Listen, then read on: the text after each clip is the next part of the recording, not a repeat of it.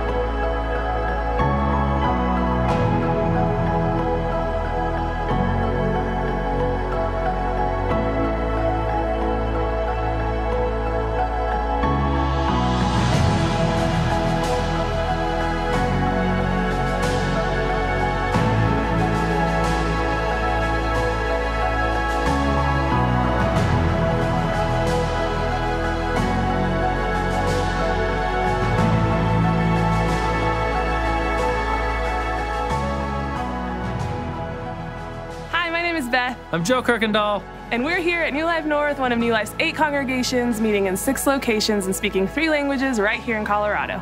At New Life, we're doing something called Parent Orientation. Our family ministries is putting this orientation together for parents of students and kids next, uh, actually this coming Sunday during the 9 o'clock and during the 11 o'clock service. There's already going to be kids check in for birth to fifth graders, and it's going to be an opportunity for you parents to learn about the vision, some of the curriculum of what we're going to be going over, and a chance for you to learn about how you can get involved as a parent in our student and kids Kids Ministries.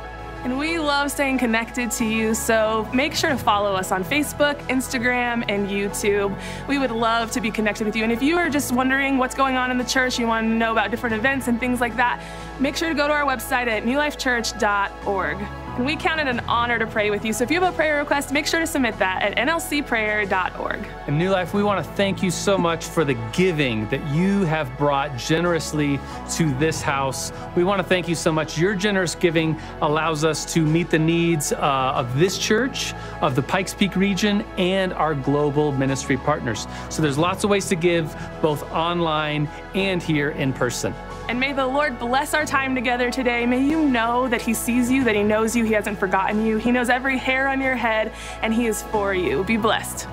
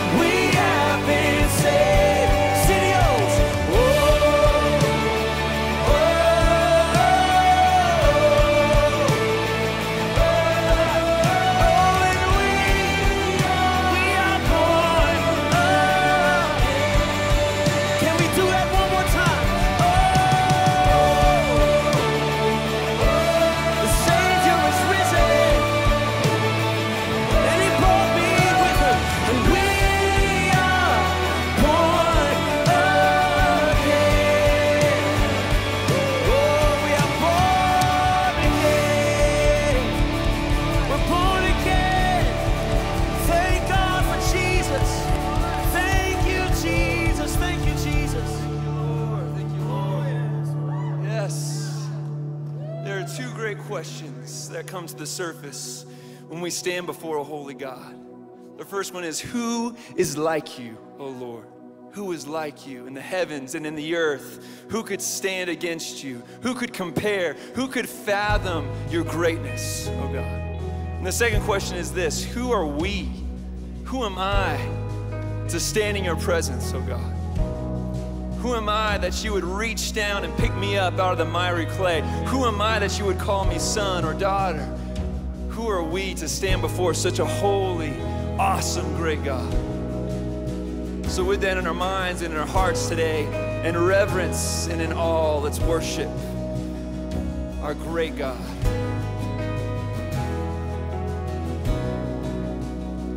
For the Lord is strong and mighty.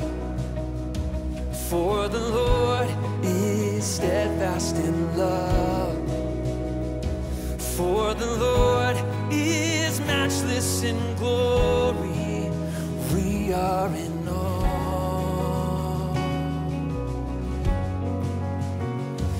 You're the one whose name is salvation. All your ways, all your ways are goodness and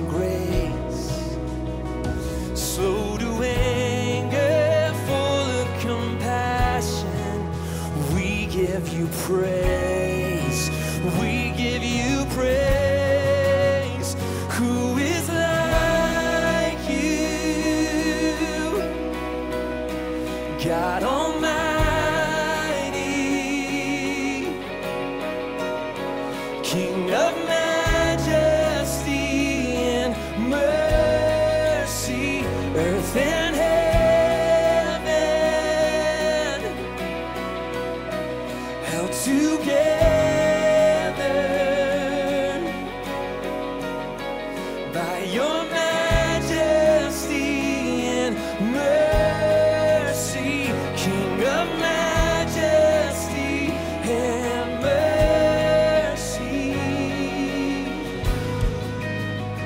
We stand in awe of your greatness.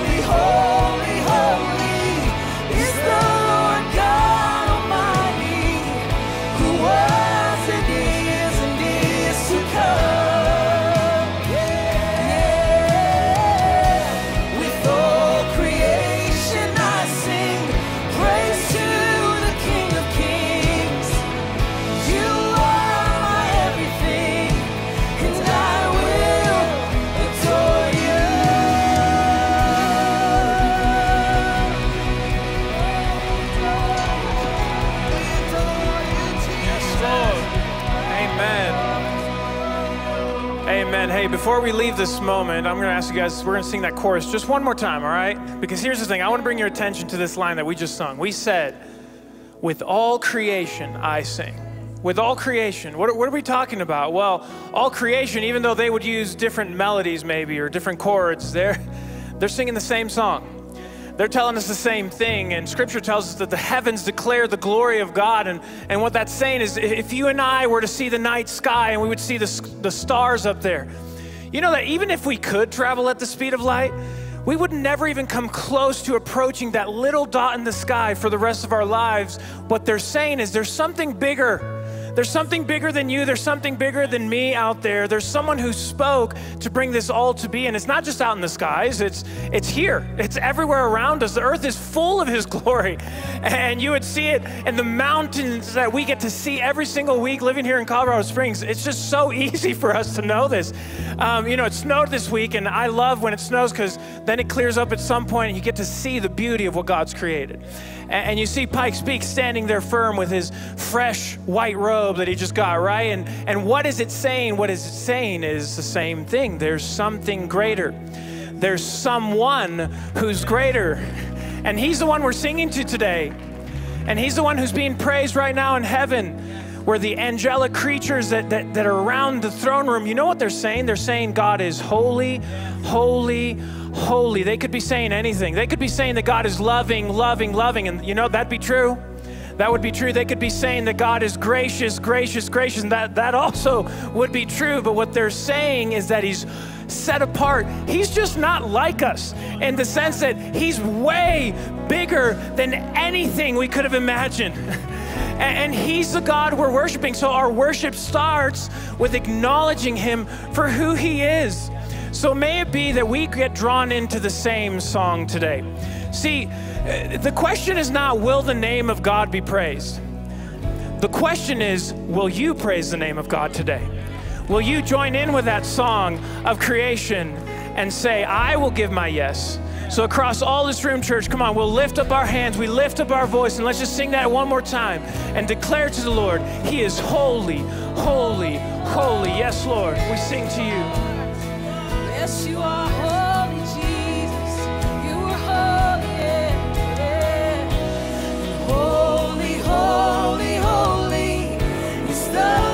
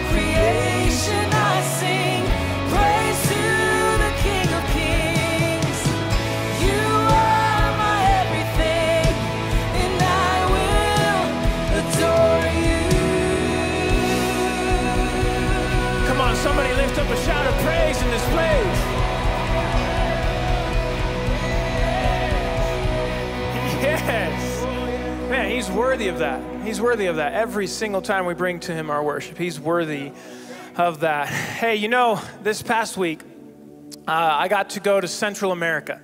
And uh, we got to visit some of the ministries that we're partnering with or considering partnering with. And it was just so awesome to get to see, to see people. Because so many times when we're thinking about what we're going to give to here as we get ready to give of our tithes and offerings, you think, well, I'm giving to, you know, something out there. and this is why it's so great for us to, to leave our little bubble here in Colorado Springs or even in the country. And I would just encourage you, if you get the chance, go. Go because when you see faces, when you see people, you know what you're partnering with God to accomplish. I'll just tell you the short story. We went to uh, Honduras, and when we landed in the airport, the pastor of the church we were going to visit picked us up. And as he was driving us to the hotel, he, uh, he was like, hey, and, and everything you see to your left and to your right, all that was underwater in 2020. And I was like, what, what, what happened? And it's just, it was a little embarrassing for me to find out that Honduras had been hit by two hurricanes in a matter of 15 days. And this is one of the, one of the downsides to a pandemic is like all we hear about is COVID, right? And it's just like, is there anything else going on in the world? And I didn't even know that they had been hit twice in 15 days when normally they would have a hurricane every 20 years. And so it just destroyed this area, flooding everywhere. And a thousand people showed up at the doorstep of their church building at this church. And they said, We're here because we don't have a home anymore. And we don't have a place to go eat. We don't have doctors. And that church opened up their doors and they figured out how to put, you know, mattresses on the concrete floor so that these families could have a place to sleep that night. And they weren't prepared for that. They weren't ready for it, but the church stepped up. You know why? Because they love people, because God loves people. That's what's on his heart. You want to know what's on God's heart? It's people. And so today, as we get ready to give, there are four ways, and they're listed on the screen. Uh, this is what I want you to think about. Don't think about projects, don't think about plans, think about people.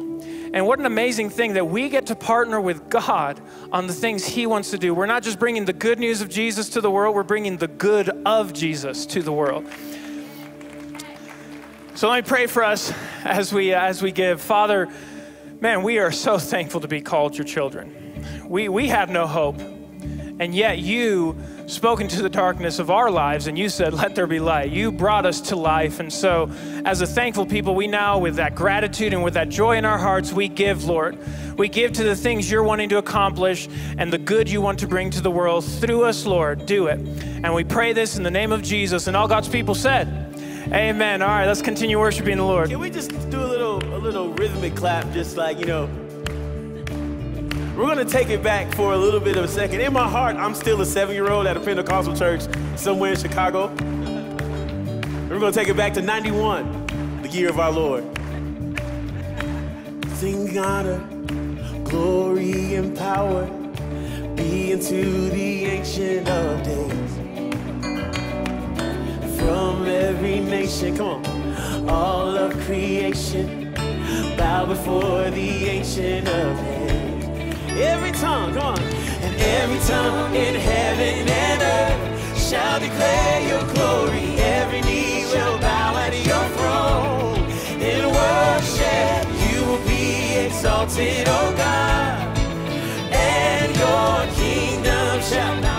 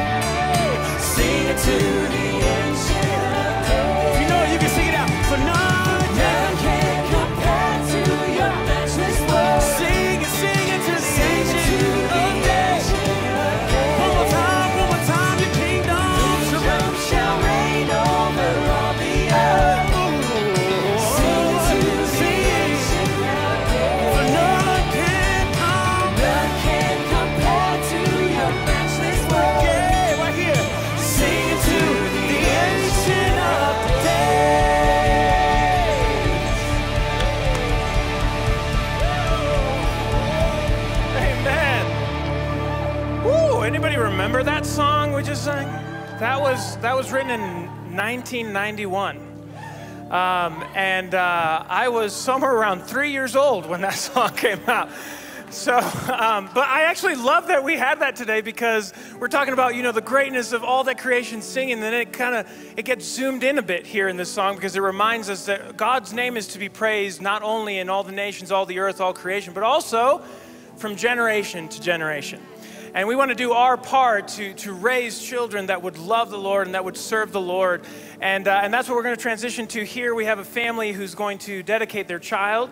And uh, so, first, we'd like to meet them. And then I just want to give a little context of what we're doing here today. So, let's meet this family. Pastor Michelle. Yeah, Can you tell us your names and who you're dedicating today and how old he is? I'm Ashley, my husband Dylan, and then our three year old Kyson. So good. All right. Awesome. Well, here we have a family who they're coming forward to the front of the stage, and what they're saying is uh, they want to do their part. and they want to do what they can as parents, not perfectly. We're, no one's a perfect parent, but we're going to do as best as we can to lead our children in the ways of the Lord. But they're also doing it here at church because we're a part of this family too. Okay, so we do this at church because we're saying we're, we're coming alongside you guys. This, it takes an army to raise children. This isn't an easy task. And so we're going to need all the help we can get. And you know, the studies, recent studies are showing more and more that what affects adults so much in, later in life is what happens to them when they're children. Um, all the studies are just emphasizing this more and more. And it's amazing how things that get spoken over children affect them for the rest of their lives. So, what we're saying here today is we want to speak some different things over the children of our church. And so, I'm going to pray for them, but you, why don't you reach out your hand towards them too, and we're going to agree together in prayer that God would pour out his blessing here upon this family. So, let's pray. Father, we are here because we are in need of you. You're the one who, who owns everything, who has all wisdom, power, and authority. And so, God, we come to you with open hands asking, God, would you bless this family?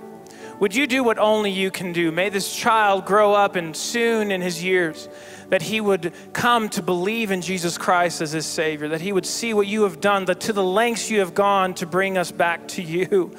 God, may, we pray that over him. We pray that he would grow to be strong and that he would be a witness of what you want to accomplish here on the earth, and that he would be an ambassador of what you want to do. God, let your kingdom continue to be presented to this world as we have a part in that, and now this family too. And Lord, for those moments where they feel alone, we pray that they would reach out and they would find their church family with them. We pray that they would not only find the strength from you, but the strength from you through us, God. We're asking, let us be the vehicle of your grace to this family.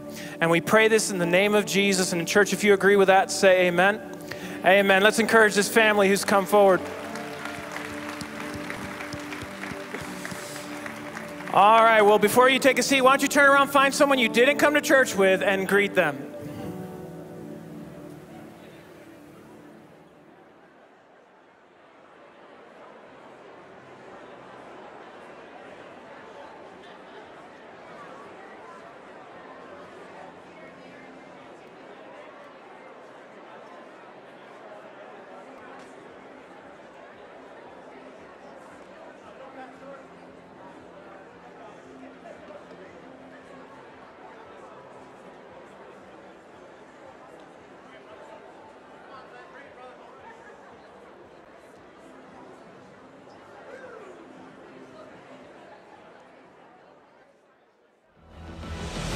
Second thing the text tells us is not only is the Word of God alive, but the Word of God changes us. The vocation of the Christian is to hear the call of the Spirit, to be an intercessor in whatever place God has positioned you. That's why we do what we do at New Life Church. Not to keep you busy, but to help you belong. All right, all right, all right. Good morning, New Life Church. Great to see you today. How's everybody feeling on this Sunday morning? My name's Glenn Packiam. I serve as Associate Senior Pastor here at New Life Church, along with uh, Pastor Daniel. And I'm normally on most Sundays uh, hanging out at New Life downtown. If you're new around here, you may not have realized this, but New Life Church is made up of eight congregations throughout the city. And uh, most Sundays I'm there at New Life downtown. I also have the joy of uh, overseeing five of our congregations that meet all throughout the city that don't meet here on this campus. And one of those congregations is celebrating a birthday today. New Life East turns two years old today. Glory to God. Now, if, you, if you're doing the math, you're like, did we just launch a congregation right before a pandemic? Yes, indeed, we did. But by God's grace and the faithfulness of the saints, New Life East is flourishing. Uh, they're bigger than they were when we started, which is a wonderful thing. And our senior pastor, Pastor Brady Boyd, is preaching at New Life East this morning. So we extend their greetings, your greetings to them, and all of that. Uh, would you pray with me this morning as we begin to open the scriptures? Father, we thank you for who you are.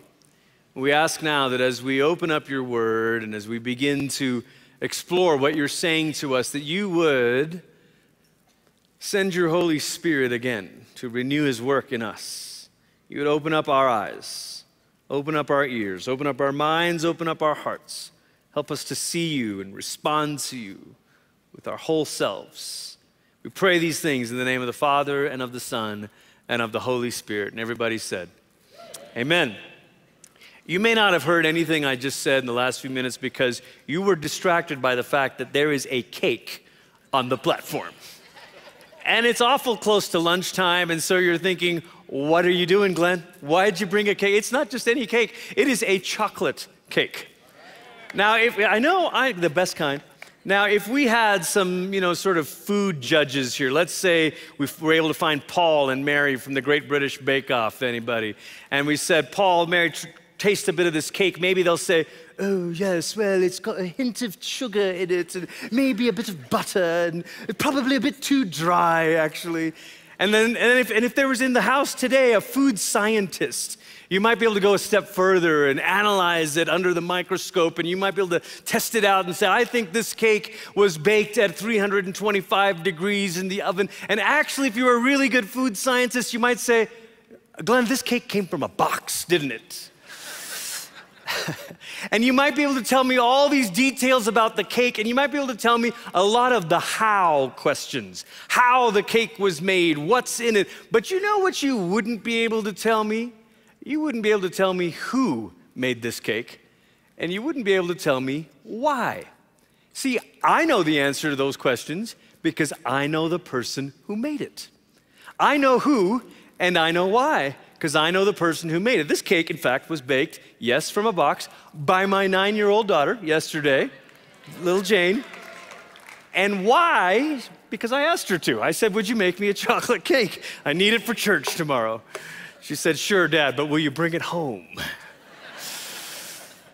This is a little bit like how we approach the first few chapters of Genesis. We read these opening stories, these opening words to Genesis, and often we come to the text with our own set of questions, and we want to know a bunch of the how questions. How did God create the heavens and the earth? Did it take him a long time or a short time? And how was there evening and morning when the sun wasn't made until a few days later? And we have all these analytical questions about how, and we miss the most beautiful part of those chapters the who and the why. The most beautiful part of the story of creation is not the questions of how and what and those details, but really it's about who made the heavens and the earth and why. We're in a series here at New Life called Who is God, and we're going to spend several months talking about each person of the Trinity. We'll spend several weeks talking about the Father, and then we'll talk about the Son, Jesus, and then we'll talk about the Holy Spirit. But here we are a couple weeks into this first section Who is God, the Father? And this morning we're going to focus in on that attribute, that thing that we confess about the Father, that He is the maker of heaven and earth. Just as we sometimes come to the text with our own questions that we miss the greater picture the text is trying to show us, it's also true that we sometimes go to the wrong places with our most pressing questions.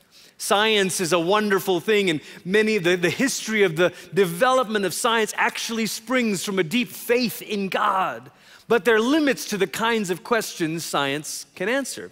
If you're the type of person watching online or you're here in the room and you've determined that you will only believe things that science can provide or prove, you'll find yourself being able to say, Well, I know what the world is like, and I, and I might even know how the world works, but there's some questions that you won't be able to have answered because science can't provide those answers.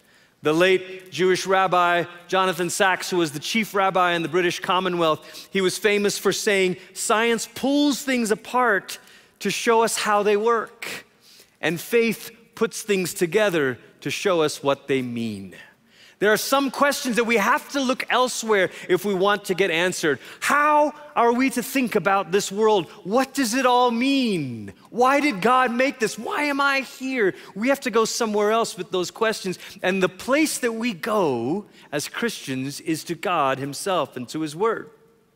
The early Christians, when they were writing down their faith and they wanted to put it down in writing so that it could be preserved and passed on from generation to generation, as we did this morning. They wrote, they met in the Council of Nicaea, a little town, and, and, and they wrote out the creed. Maybe you've seen on our walls out here on our website, it says the Nicene Creed. And maybe you're new to the church stuff and you're like, the Nicene, was that supposed to say niceness and they ran out of room somewhere for the extra letters? No, Nicene because that's the town where they wrote down the statement of the Christian confession of faith. And the Nicene Creed opens with these words it says, We believe in one God, the Father, the Almighty, maker of heaven and earth, of all that is seen and unseen. Genesis 1 1 opens out. The Bible begins this way In the beginning, God created the heavens and the earth. And God saw, skip all the way down to verse 31. And God saw all that He had made, and it was very good. Catch two things here. God saw some of what He had made, and most of it was not bad. No, God saw all that He had made, and it was very good. Everything and really good. Two strong statements. In fact, if you read the Genesis story, God can hardly contain himself. He's interrupting himself. At the end of every stage of creation, he steps back and he goes, Man, that's good. That's real good. I like it. I like it a lot. It's like an artist or a creator who's writing a song and he gets a line. He goes, Oh, that's a good line. I like that line. Let's keep going. God keeps interrupting himself because he takes delight in the world that he's made. The ancients, the book of Genesis is written a long time ago, and the ancients, the people who were alive in that town, the, uh, in that time, the ancient civilizations, they also had creation mythologies or stories. And they would not have asked, Did a God do this? They would have said, Which God and why? And when you read Genesis that way, you come to it with the questions that the text itself was designed to answer. And what you discover is the Genesis story is very different than the ancient Mesopotamian myths. Some of the, one of the ancient myths was there were a couple of gods at war with each other, and one killed the other and ripped his guts out and flung it over there, and that became the sun. Isn't that a lovely bedtime story? Little Johnny, this is how the sun came to be. Another ancient myth says that the gods were tired of doing all the work, so they said, let's make these creatures and let's make them our servants. Isn't that dignifying? Happy birthday, you servant of the cosmos gods. You're like, oh, okay. Thanks for that one. And all of a sudden, against that backdrop, we have these stories that Moses, by tradition, writes down about the start of the world. And what Genesis reveals is the God of Genesis is a singular, sovereign creator who makes the world on purpose and with pleasure. Every one of those words matter. Makes it on purpose, it's not accidental. And he takes pleasure in Moreover, he's the only one. You know, in the ancient world, they thought the sun was a god, and they thought the moon was a god. And so Genesis 1 is basically Israel trolling their neighbors and kind of saying, Y'all think those are your gods? I got a story. Our God made your God. Boom. And it's this, it's this way of saying there's only one. We sang it this morning. There's only one. There is only one. There is only one. The God of Genesis is the singular sovereign creator who makes the world on purpose and with pleasure. But what does that mean for us? And what does that mean for our knowledge of who God is? And what does that mean for the way that we interact with the created world, with the world around us? Not just mountains and rivers and seas, but human beings and friendships and laughter. How do we engage with the created world? This morning, I want to say three things about creation that are worth reflecting on. If God the Father is the maker of heaven and earth, this is how we should think about his creation. Genesis 1, verse 31. We'll read it again. God saw all that he had made, and it was very good. And there was evening and there was morning, the sixth day. The first thing I want to say might seem obvious creation is good. Creation is good. Now, this should be obvious. You're like, we just heard about it this morning, looking at Pikes Peak, like, yeah, we know. But think about what we've also heard. We also heard about hurricanes. We are also, we're also aware of the times when it seems like the created world is revolting. We're going to talk later this morning about why that is. But the opening words of the story is not God looking at this world and going, oh my goodness, I got to put up with that. The opening words is God blessing it and God saying, This is good. But you know what happens to us is we get kind of religious sometimes, we get kind of churchy.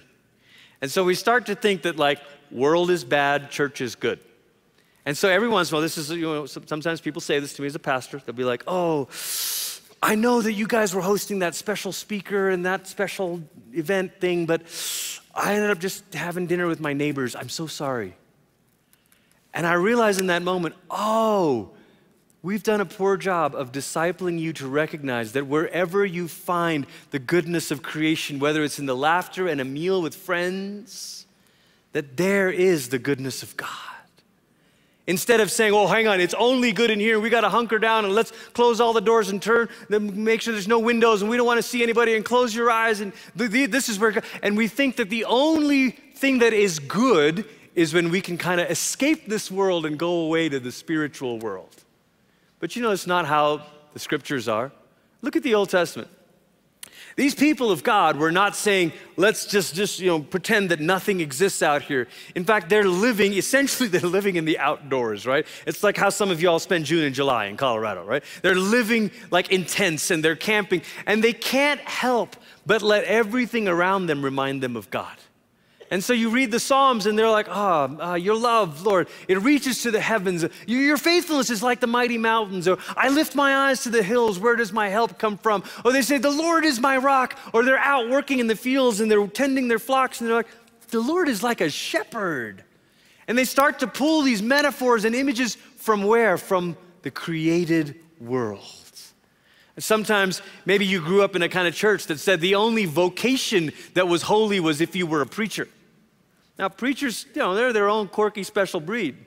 But there are many vocations that can become holy vocations when you offer it to God. Creation is good. It means there's goodness to be cultivated in all kinds of work in the care of children, in education, in healthcare, in all of the different ways that we make something of God's world. We are saying, God, you made this and you called it good, so I'm going to work with you to bring out the good. What if you thought about your work that way? Instead of dividing it up and saying, well, the, this is bad, this is good. I think of the story of the Scottish athlete who was running races, Eric Liddell, and they said, How could you run races? You should be in church. And he said, Yeah, but God made me fast. In other words, church isn't the only thing God made, He made me, and He made me fast. And he said, And when I run, you remember this from Chariots of Fire?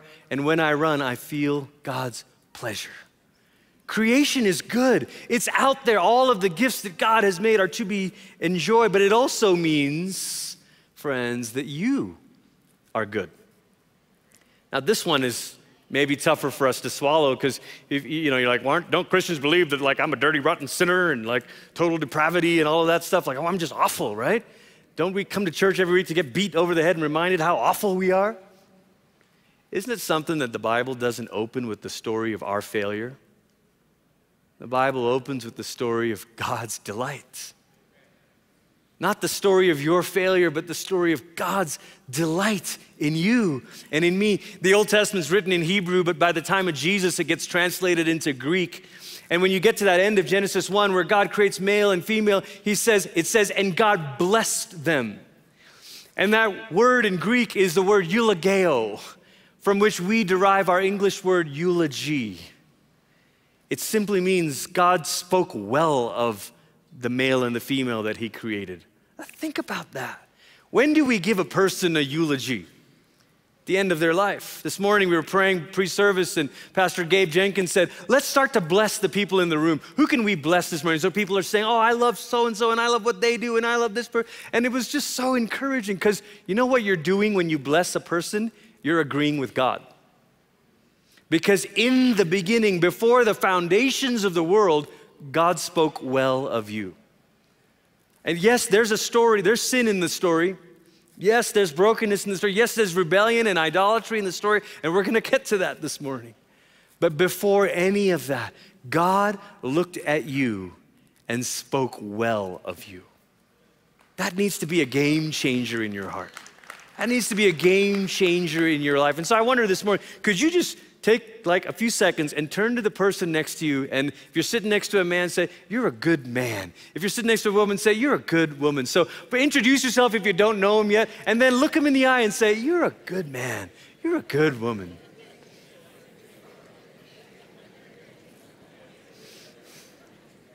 That's how God sees you. That's how the Father made you. Amen? James 1, verse 17 James says this every good and perfect gift is from above, coming down from the Father of the heavenly lights. Every good and perfect gift is from above. I know sometimes we stress out a little bit in life. We're like, should I thank God for that parking spot? Or should I thank God for chocolate cake? Or should I thank, you know, is it a good gift? Then there's only one giver. And James says, if every good and perfect gift comes from the Father of heavenly lights who does not change like shifting shadows. And so the second thing we say about creation is creation is a gift. It's a gift. It's what God has given us, and gifts are meant to be enjoyed. Any coffee aficionados in the house this morning? You know what this is? It's a French press, that's right. You would think that's obvious. Come on, Glenn, try a harder one. It's a French press, but my 23 year old self did not know that. And so, almost 21 years ago, when my wife Holly and I got married, someone, a, a really good friend, really dear friend, gave us this. And we were like, we didn't register for this. Like, you know, you take all the trouble to register, and then people give you stuff you didn't register for. Like, why do you do that? You know. But this, some of you that's a little too close to home. but this is a good friend, and he loves coffee. And so he gave us this. We're like, what is this? So for years, it just sat in a, one of our kitchen cabinets. I mean, we moved, we've moved houses like four or five times. We've lived in Colorado Springs for 22 years. We've moved, we put this in a box, moved it to the new house, unpacked it from the box, put it in the cabinet, never used it. Like, I, I don't, do you know how to use it? I don't know how to use it. Okay, well, yeah. Until a few years ago, a few years ago, we were like, let's get out this thing. It's a French press. Let's figure out how to boil some water, grind up some beans, put it in there, let it steep five minutes or so, press it down. Now, this is pretty much the only way I have my coffee in the morning, pretty much. I, I, you know, I can be taught. But the point is, the point is, a gift is meant to be enjoyed. It's not meant to sit in the cupboard. It's not meant to be put in the shelf. It's meant to be enjoyed. How many of the good gifts that God has made in the world around us that we're like, I don't know, should I should I enjoy this? Is it okay to take pleasure in a meal with friends? Of course it is. Is it okay to enjoy this? Some, you know, again, sometimes some of you might have heard or grown up in, in places or environments where it was like playing cards is evil and music is bad and all of this stuff. And you're realizing, man, aren't there God's good gifts in the world? Well, if these are God's gifts, I'm gonna enjoy them.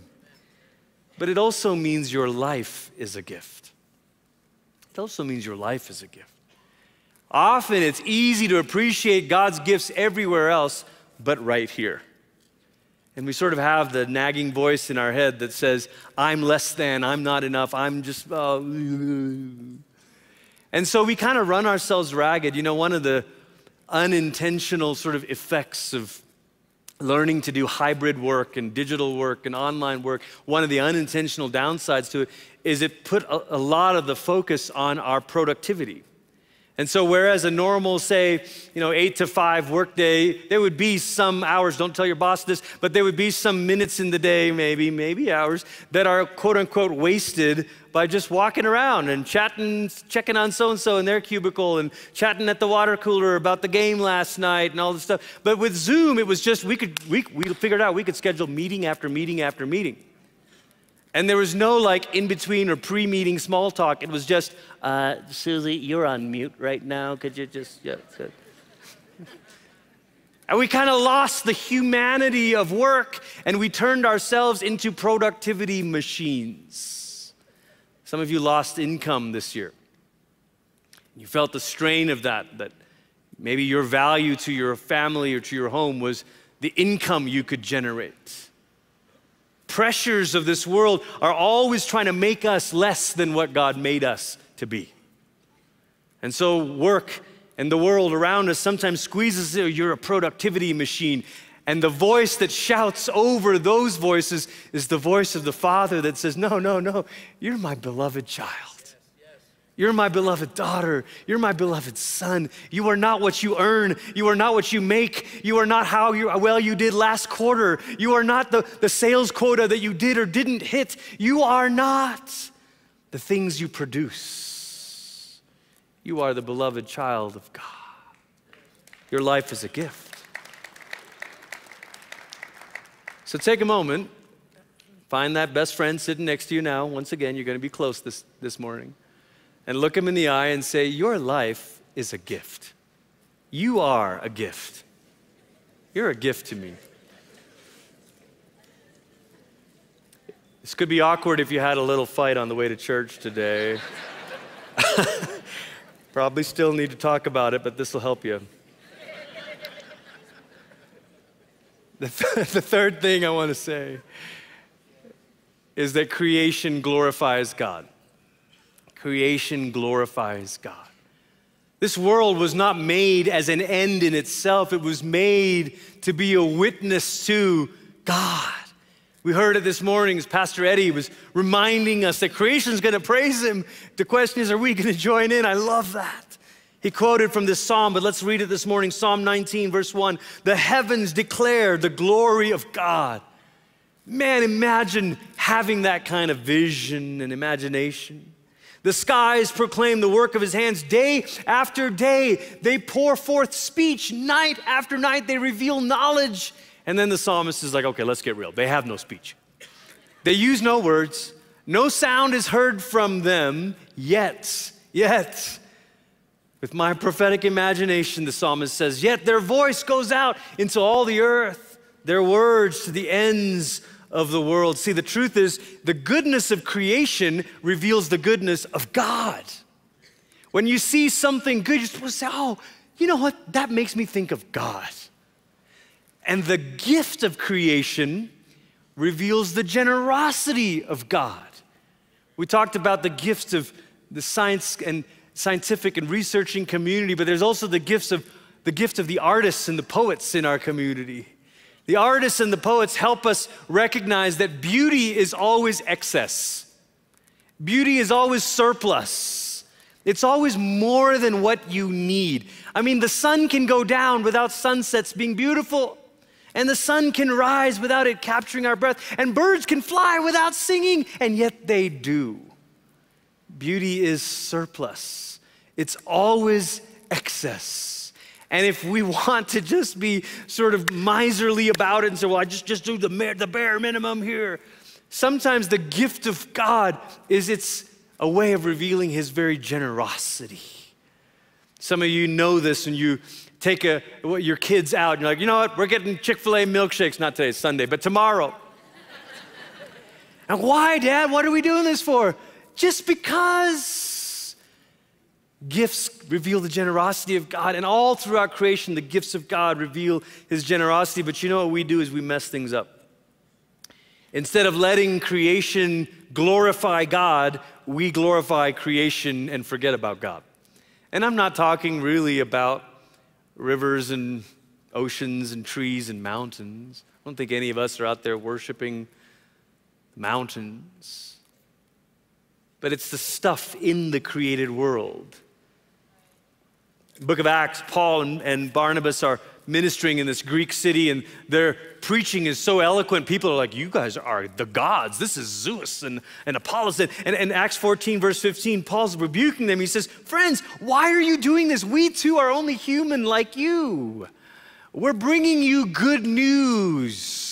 I'll never forget one time I was leading worship back at Oral Roberts University, and, and, I, and an older, sweet older lady came up to say, you know, great job, you know, up there. And I said, oh, it was wonderful, though. Thank you so much. And she looked at me kind of surprised that I had said thank you for her telling me I did a good job. And she goes, like, glorify God, brother. Anyway, Paul and Barnabas are basically saying this. They're like, hey, hey, don't, don't look at us. And then he says, telling you to turn from these worthless things to the living God who made the heavens and the earth and the sea and everything in them in the past. Paul says, He let nations go on their own way. God let human civilizations try to sort this out and wrestle through the rise of religions and rituals. But even so, Paul says, Yet, yet, He has not left Himself without testimony. God, God put some breadcrumbs down the road. He has shown kindness by giving you rain from heaven and crops in their seasons. He provides you with plenty of food and fills your hearts with joy. Paul's saying, Look, don't look at the breadcrumbs and think the breadcrumbs are the feast. The breadcrumbs are supposed to lead you all the way home to the maker of heaven and earth. So you love your job. That's great. Don't stop and think that your job is your source of everything. It's not. It's good. It's a gift from God, but it's not God. So you've got friends that really help you find joy in this life. What a gift. But don't stop short and say, My friends are it. It's God who is the source of all of this. I mean, imagine maybe a way to think about this is that creation, there's signposts that point the way. Imagine how foolish it would be to, on I 70, you see a sign that says Breckenridge ski area, and you're like, oh, ski, right here. Oh, here it is. I'm new to Colorado. Here we go. Let's, let's pull over. And you pull over on the side of the road, and you get your gear on, like, what, you, what is he doing? He said, well, the sign says ski area. Like, it also says five miles. like, not here, further on. Or say you get to go on a vacation, you're going to the beach and you got your beach chairs and your towels and all this stuff, and you see a sign that says beach access, and you're like, oh, here it is. And you set up your chair right there. You know, beach access means keep walking. It's right there. This isn't it. And that's the way we're meant to interact with the created world and the good gifts of people and relationships and meaningful work and, and delicious food and all of the stuff that we are to enjoy in the world. It's all meant to be a signpost. Enjoy it and then keep going. What's it pointing to? It's pointing to God. But when we take good things and treat them like ultimate things, we ruin everything. When you take a good gift and you worship it, you make it the center of your life. You've made your family the center of your life. You've made your career the center of your life. You take a good thing and you treat it like an ultimate thing. Guess what happens? You ruin everything. And this is what happens to creation. Paul says it in Romans 8. He says, For the creation was subjected to frustration, not by its own choice.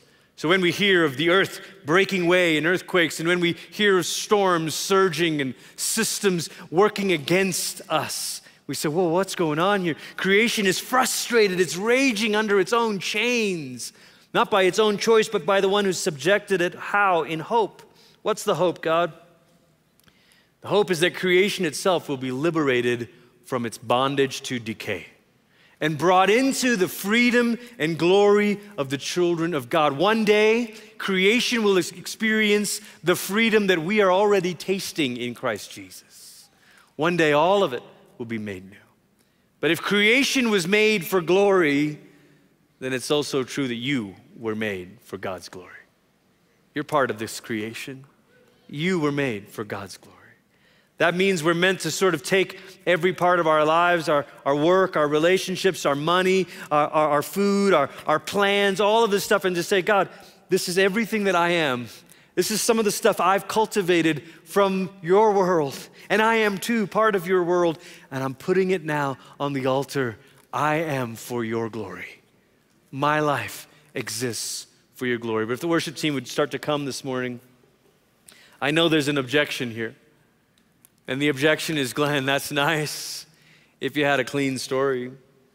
That's a nice sermon if my life if your life wasn't messy. It's nice to say that we're good and our life is a gift and we're made for God's glory, but it sure doesn't feel like it. You don't know about the divorce. You don't know about the addiction. You don't know about the people I've hurt. You don't know about the shattered pieces in my wake.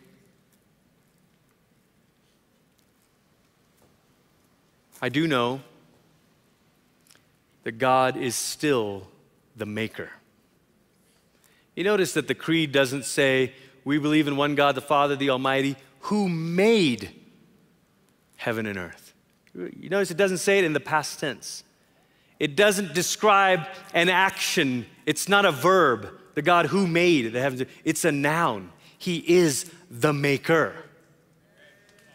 The maker. And here's why that matters. If he just made then that's just an action he did. But if he is the maker, it means he can make all things new today. It means he can make your life new again today. Paul said it like this in Second Corinthians. He said, If anyone is in Christ, come on, say it with me. If anyone is in Christ, the new creation has come. The old has gone and the new is here. Some of you have never heard this news before. You're watching online or you're in the room, and you're, you're, you're, you're, sort of thought that the Christian message was try harder, do better, and maybe get a little Jesus dust sprinkled on you so that you can upgrade from 1.0 to 2.0. But what's on offer to you today is not an upgrade. What's on offer to you today is new creation. What's on offer to you is not a little bit of self improvement, Jesus style. What's on offer to you today is for the maker of heaven and earth to make you again, to make you new again today. Now, others of you, you're in the room and you're like, well, I've been following Jesus for a lot of years. It's great. It's awesome. Love it. Me too. Paul says our outward being perishes but our inner being is being renewed daily. You know who does that renewing? The maker of heaven and earth. The maker of heaven and earth renews our hearts daily. God, renew my spirit today. God, renew my heart today. God, renew my relationships today. See, church, because of Jesus, we can become a new creation now. Now, today, again. So, all over the room, would you stand with me this morning? We're getting ready to come to the Lord's table, but I want us to sing an invitation to the Spirit of God.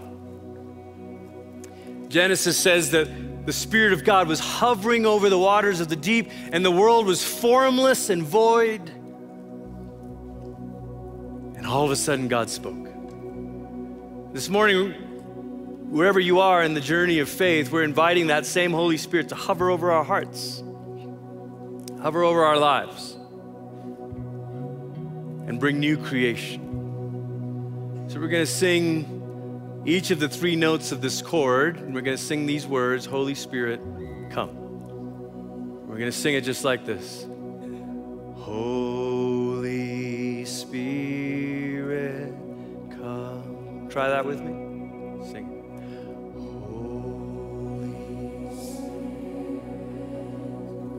And we're going to go up to the third. Holy Spirit, come. Try that again. Sing. Sing. Holy Spirit, come. Now we're going to go up to the five. Holy Spirit, come. Sing that with me. Holy Now pick one of those three notes. We're going to make a chord together in unity and harmony. Sing it now.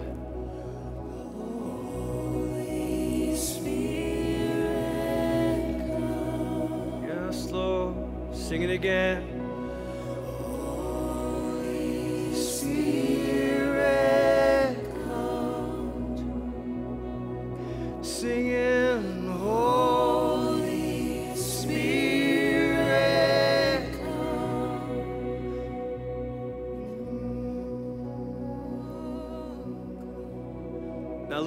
Over into your own words now. Begin to welcome the, the maker of heaven and earth to make us anew. Maybe the places in our lives that are dry, that are dying, Maybe this is the moment to repent, to say, God, I'm sorry, I've made something else. I've made someone else the center, the, the source. I've made something else the sovereign in my life, and I want to turn from it. But you alone, Holy Spirit, you alone, the Father, the Son, and the Spirit, all working together as the Creator, the Lord, the giver of life. Come, Lord. Mm, yeah, yeah. Come on, come on now.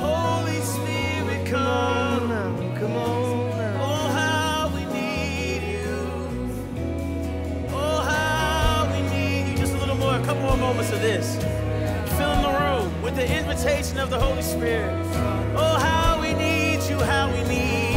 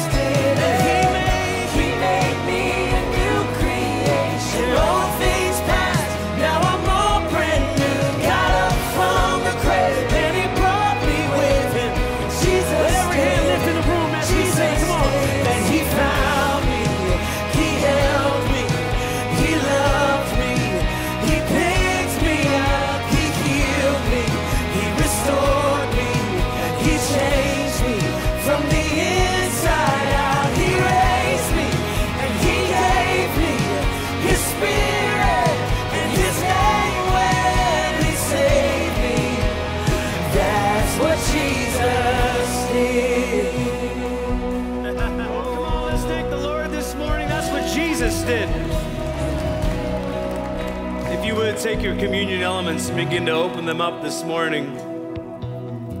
We're about to come to the Lord's table. And this is the place where we our story finds its center. You're here this morning. If you've not said yes to Jesus, it's okay. You don't have to receive communion. But anyone who calls on the name of the Lord, you're welcome to receive today. In fact, this can be your first act of faith. I mean, think about it. That your first yes is yes to a meal with Jesus. Come on, that's it. So if you're here and there's something tugging your heart, you're like, I don't know too much about this, but I want to say, this is your yes to Jesus. Come and eat. Come and join him at the table. Jesus, on the night that he was handed over to suffering and death, took bread. And when he had given thanks to the Father, he blessed it and he broke it and he gave it to his disciples and he said, Take, eat. This is my body, which is given for you. Hang on to it for a second. And after supper, Jesus took the cup of wine, and when he'd given thanks to the Father, he gave it to his disciples, and he said, Drink this, all of you. This is my blood of the new covenant, which is shed for you and for many for the forgiveness of sins. Whenever you drink it, do this in remembrance of me. And you know what Christians have said throughout the centuries, right at this very moment of their worship service?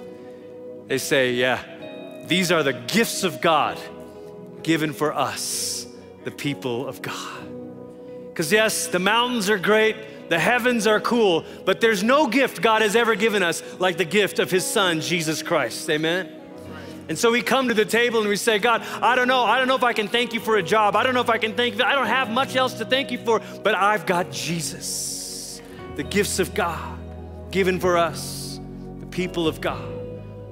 Receive it now by faith.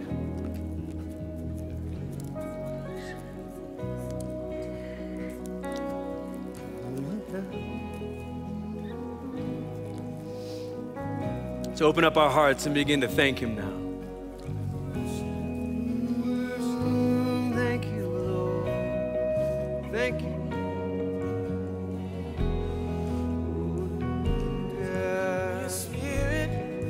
Oh, me. That's what Jesus. Sing it again. He found. Cause He found me. He held me. He loved me. Come on.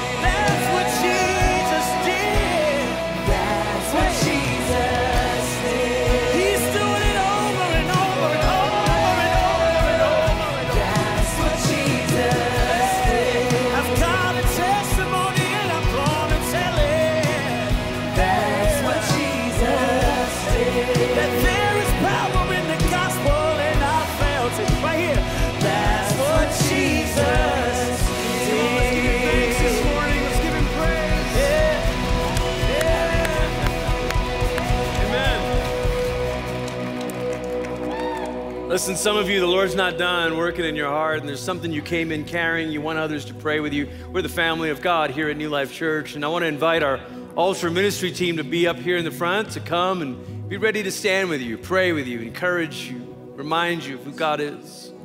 And then others of you, you're new or newish to New Life. Out in the lobby is Connect Central. We'd love to meet you and help you find your place in the family here at New Life. Uh, there are section communities uh, that are having parties today. Different ones of you, section one in the activity center, section two in room 161.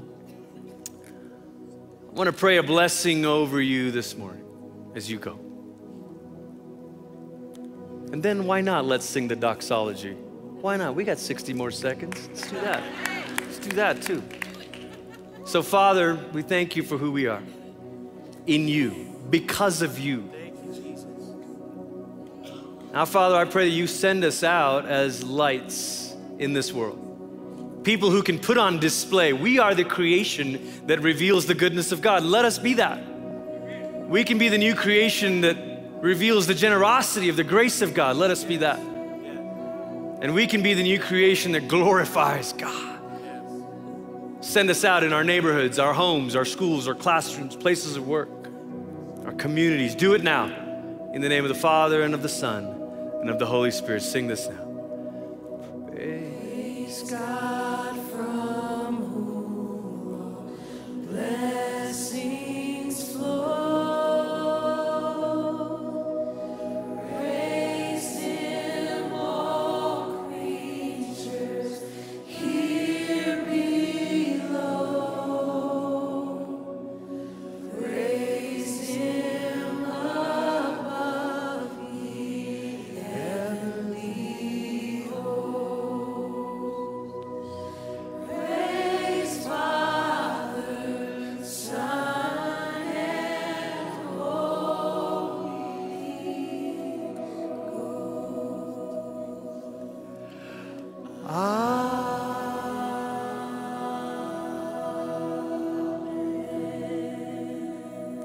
rejoicing in the love of the Father and glorify God this week. Amen.